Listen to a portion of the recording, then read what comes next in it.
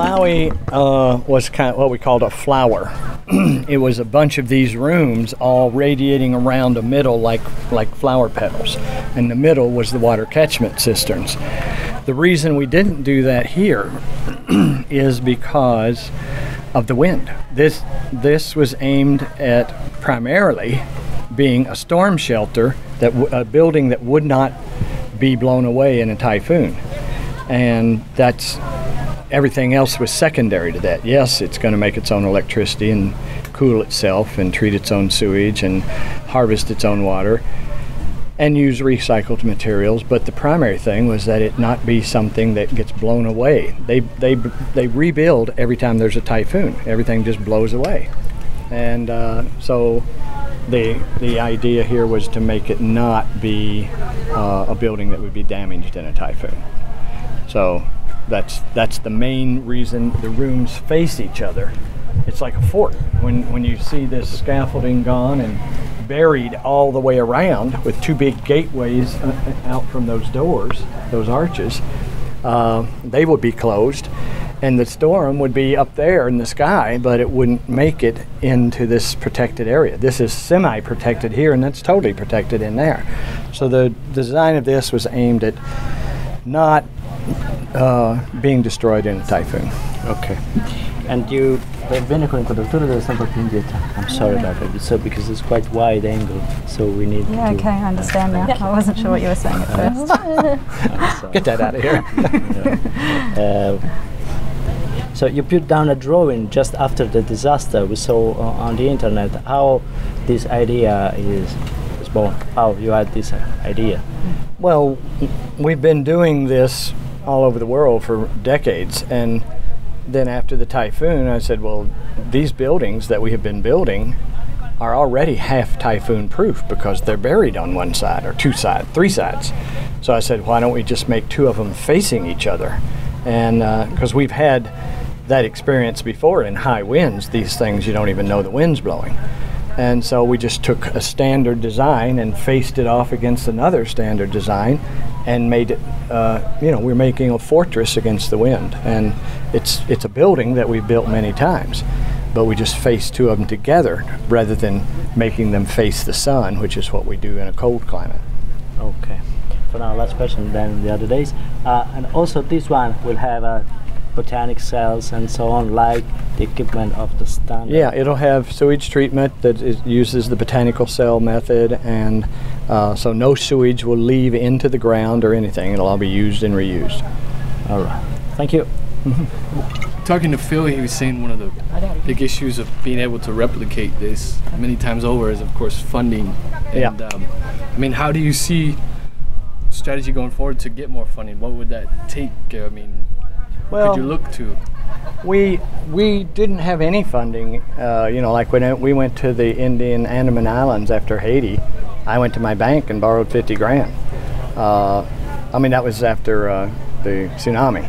And in Haiti, we did a little fundraiser, and but now we've gotten to the point where uh, the people, lots of people around the world, want to work with us and learn, and so we charge them a tuition, and their tuition buys the materials and it buys our plane tickets, and so we're funded by the people that come out here and slave in the hot sun and help us. So everybody here not only is building this building, but they funded this building. Grassroots. And that's kind of a, you know, rather than waiting around for Bill Gates or Oprah Winfrey or somebody like that to donate money and then, uh, you know, uh, get a bunch of credit for it or whatever, uh, this method is all about people. People are funding them. So wherever we decide we know. So when I when I just heard about the typhoon in the Philippines, I sat at my kitchen table and made a sketch, and then got it up on our website, and money started coming in. So I just said, "Is there anybody interested in helping us do this?" And people started saying, "Yes, I am. Yes, I am." 300 people said it. And, you know, we can only take 40 or 50.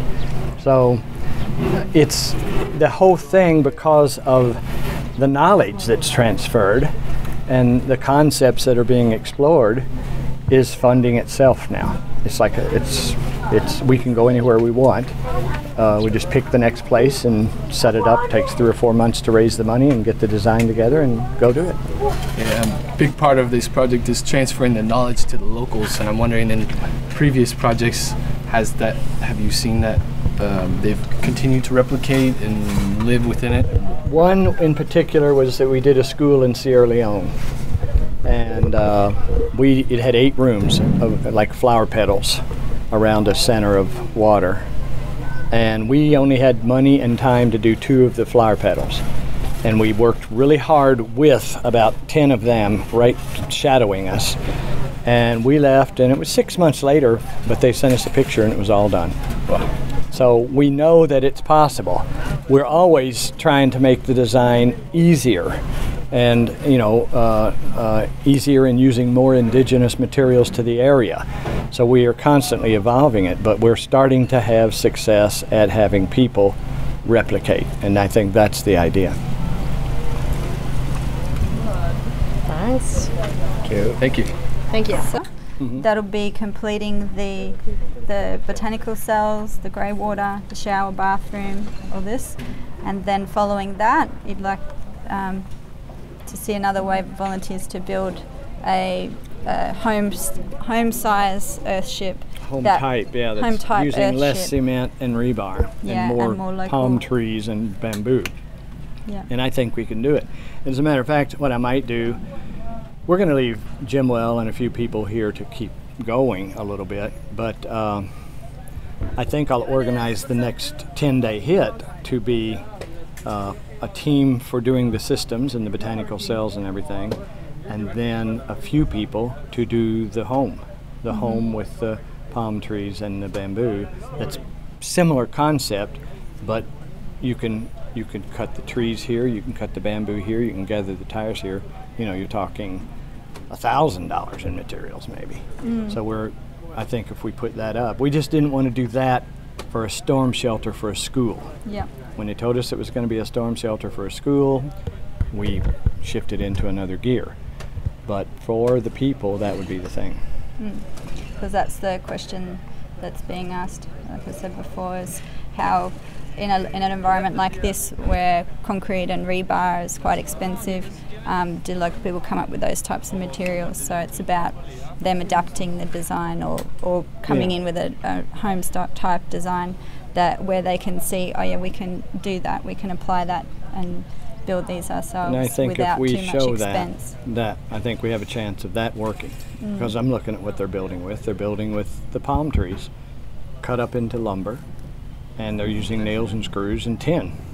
So they have tires here, they're free, and they have the palm trees, we could use them. They have bamboo, and that's all they would need. So they could just have a much more substantial shelter that they built themselves. Okay, and so if people want to um, donate to Earthship and um, contribute to this cause, whether they want to come over as a volunteer or if they want to just donate financially to help with materials and stuff, who should they contact and uh, what's the best way to go about doing that? Uh, our website, earthship.com, has uh, all of our current projects, and you, you click on Philippines if you want to get involved or donate to the Philippines, and it has a button where you can go to PayPal and make a PayPal donation. Okay. Cool. Thanks, guys. And we're doing it, yeah, right. We're still getting met, uh, donations from Malawi for materials, and getting donations for the Philippines, and then we get we're still getting donations for Haiti. You know, people send five dollars, ten dollars, uh, and then some people send a hundred dollars and say use it for whichever one. You know, because we're we're always going out there. As soon as we get money, we go again. One more question on uh, funding. You mentioned earlier, you know, you're not sitting around waiting for Bill Gates, which I think is wise. But how, is that something that you have tried? Not him specifically, but wealthy donors who might be interested. I really haven't tried that much, you know, because uh, I figure if something's right, it'll sell itself. You don't have to sell it. And this is selling itself. This is selling itself to real people. Mm-hmm. And, you know, if, usually there's a stipulation. If somebody's going to give you a million dollars to do something, they're going to want a certain look or a certain this or a certain that. And we don't really want to do that. We want to go and shoot from the hip and say, this is the way we think it should be done, and we do it. You know, me and Phil and Roy and Brian, and we just figure it out.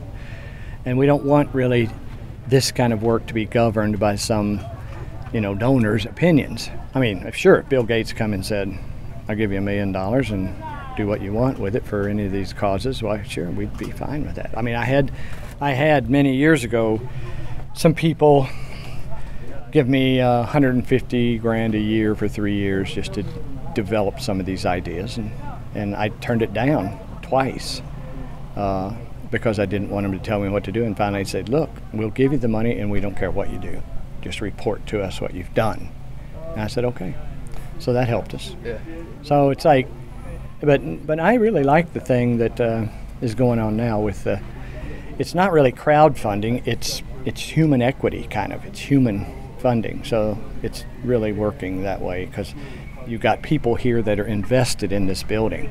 They've invested a thousand dollars and ten days of busting their ass. So they got to be serious, and they are. That's why it happens. So we're um, talking about. Um, well, you've said you'll uh, uh, um, give a scholarship for villagers here to come to Taos or to the next build, wherever it's going to be, to um, for them to actually learn the concepts. And I mean, you learn it from from being here on site, but there's no way in one build that you can learn everything about the whole thing. So obviously, you know, maybe they can come to the next three or four builds or to the academy. Um, so you guys are providing free scholarships for villagers, Yeah. and so uh, as volunteers or the broader community, they could. What, what else do you need funds for? Basically, is it what you, you answer? Yeah, with the the academy, uh, we do four. We're doing five of them in Taos this spring, summer, and fall, and then two in South America next winter. So we'll have seven academies, and so we give probably two or three scholarships every one of them. It's, each academy has about 40 people, and we give two or three scholarships away each time. So wherever there's an academy that's close, uh, then we give a scholarship. because Um, what the Earth Village group's talking about is sending seven people, um, three or four villagers from here, someone as a translator, and uh, and then two people from uh, that that are volunteers but that are architects in the Philippines. And the translator also being the person from Earth Village. So, that whole group being a part of um, the academy in Taos or in Australia if it comes to Australia. Um, so we're looking at what what else uh, apart from the scholarship do they need? I guess flights and flights and uh, sometimes housing. Sometimes when it's in Taos, we provide the housing with the scholarship. But if it's somewhere else, we're having to pay for the housing too. So we we take some yeah, we could uh, travel and accommodations, travel and accommodation. or just travel. Yeah. Okay. One, one more question. I- This being from America, definitely this uh, windship design would be applicable to the whole eastern seaboard where they get hurricanes typically. Um, one, do you think that that might be a place to go for another build? And two, do you think it's going to take a disaster like Haiyan for people on the eastern seaboard to realize that they need to be designing this way? Well, there's so much other than just hurricanes in New York and typhoons in Philippines. There's a lot of climate change going on, probably a little more than there used to be.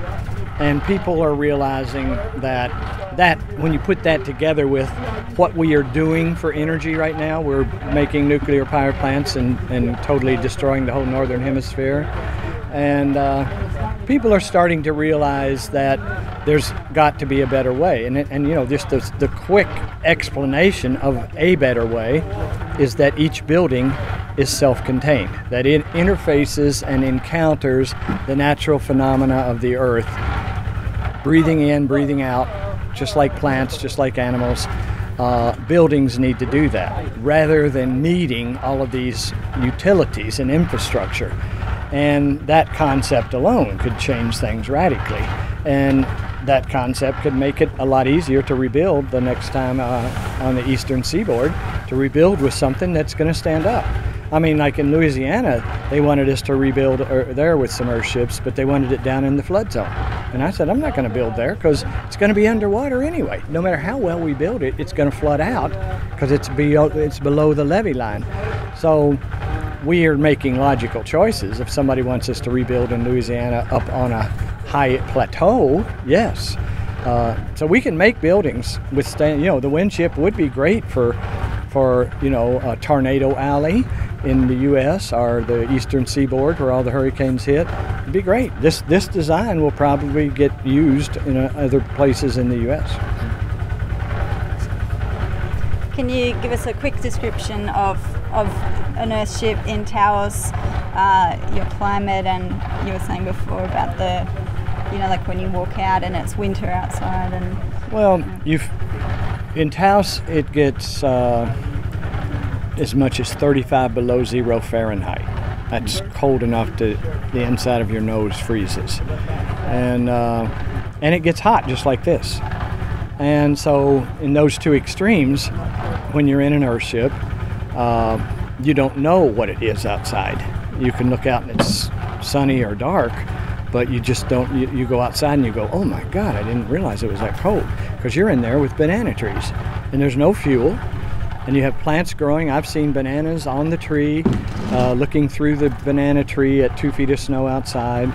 Um, it's warm. I have big thermometers at my house where I look through and see the temperature outside, and then I see the temperature in the outer greenhouse, and then I see the temperature in the house. And it's the house is always, you know, comfortable without fuel of any kind. I mean, I'll be able to fire sometimes for, you know, to be romantic or snuggly or whatever, but uh, for atmosphere. But uh, it's it's just. Uh, I come home in uh, late January, you know, after having a few margaritas. I'll open my door, and my house embraces me with warmth. And there's no no fire burning, no heater on. It's just amazing, it, and and people don't know that that's possible. I mean, as long as we've been doing it, I've been doing it over 40 years, and people still don't know.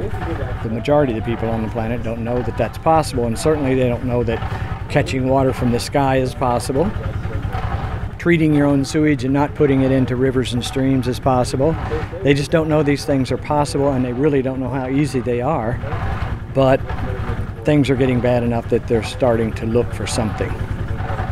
Do you think Earthships are necessarily a rural type of solution, or can they also be applied to dense cities like San Francisco or Seattle? Or We're actually working on a design right now that has made it through two council meetings in Midtown Manhattan. So it's it, these principles can be applied anywhere. It's just that most of them, most of the time it's been applied in rural areas, but um, they can be applied anywhere. It's just principles. It's biology and physics. You take the biology and physics and apply it to your situation. It's more important to, for us to teach the biology and the physics that makes this work